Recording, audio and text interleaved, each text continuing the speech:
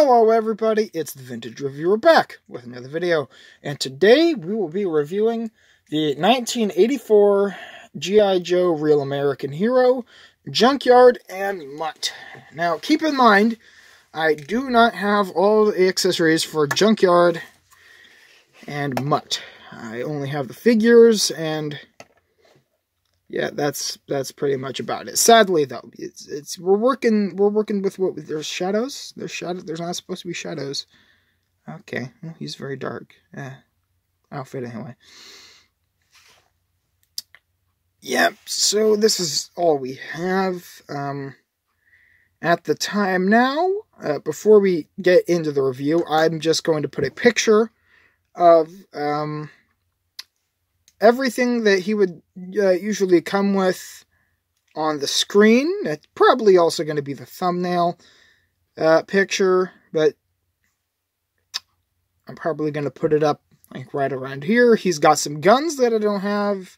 I know that Junkyard here has uh, a few things, not a few things, one thing, a leash. Right? I, I'm not. I, I'm not a Joe guy. I'm not a big, big Joe guy. I'm a big He-Man guy, guys, not a big Joe guy. And my fingers are very cold because it is cold here. Ever, ever so cold. And I have not put the heater in here yet, so we can't get heat. Doesn't matter. None of that matters. None of that matters. You came, you came for a Joe review. I'm going to give you a Joe review. Here is uh, Mutt, uh, G.I. Joe Animal Handler. He's got his, he's, he's got a this nice black uh, animal handling glove on.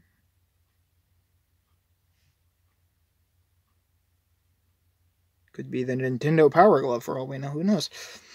Uh, other other arm is, is just blank. He's got the rolled up sleeves. He's obviously wearing a. I want to say he's wearing a jumpsuit,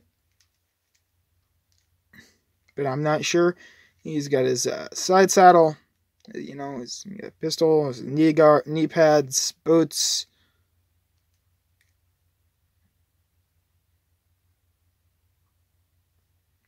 He's got his little vest with his red stripes. And his little, his little knife that doesn't come out. And I wish I had better lighting for this, but it's getting dark because it's the winter months. And yeah, so I hate it. Outside.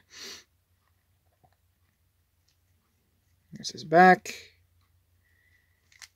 Uh, you can remove his helmet. He's got hair. Uh, and Mutt does suffer from male pattern baldness. He's he's going bald back there.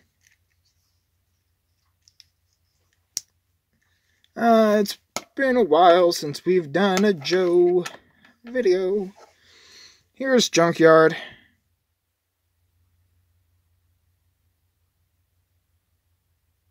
He's just a fearsome little dog. He's got brown underbelly. He's a pit bull. Got a little adorable little nub tail. And that's pretty much it. That's yeah, that's pretty. That's pretty much it for this whole review. Um, I mean, do we need to go over articulation? It's a GI Joe. You probably already know. Uh, his arms, they can go. They get the 360 movement. They're on a they're on a hinge, so they can go up and down about this far. And you know they can go back. And he's got this uh, bicep rotation, and he's got an elbow joint and his legs, he can turn his waist. And he's got the leg joints that can go this far up, that far back. He's got a knee joint. And his head rotates to and fro, fro and to, carelessly looking back and forth till his days are done. So yeah, that's uh, vintage G.I. Joe, Real American Hero, Mutt, and Junkyard. This is the vintage reviewer freezing his hands. Uh, Please like, subscribe, leave a comment down below, and I'll catch you on the flip side.